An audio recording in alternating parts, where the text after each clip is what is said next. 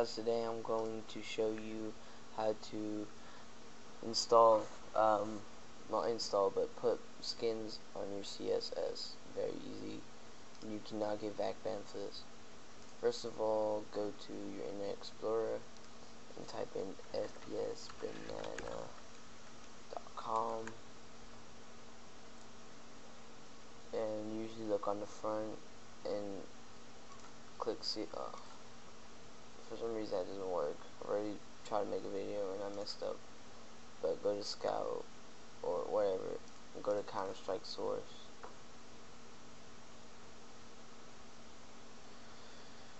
And look over to the side and pick your class that you want. But I've already got my skin so I'm not gonna show you. You just pretty much click on it. Click what skin you want and download it then go to your skin that you downloaded. Double click it. Double click this double click that. And then highlight these. Oh yeah highlight these. Extract to local C program files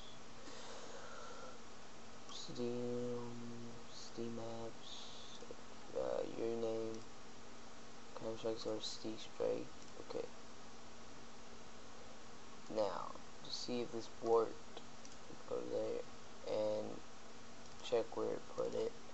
Oh, oh I'm going there. Hmm.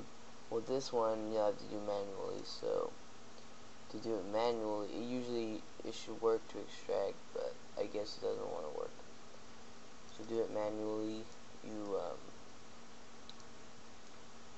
required uh, wherever you need. Go to materials, then go to materials, models, go to models, and pretty much follow it. And then go back.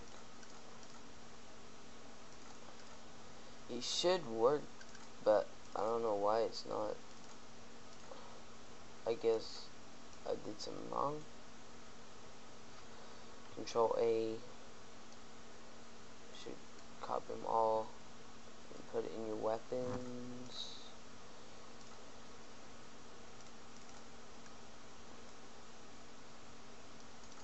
And some servers might um,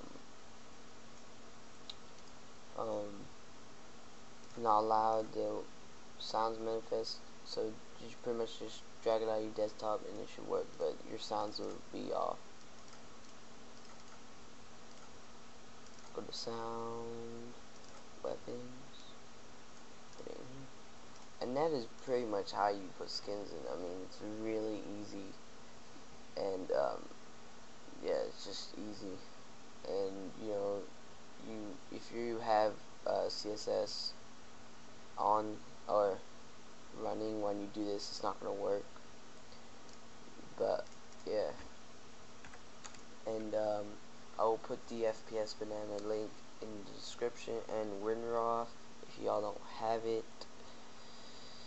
And I will you we will now be going to um, the gameplay so I can prove that it works. Okay well here we go. Next go next to my video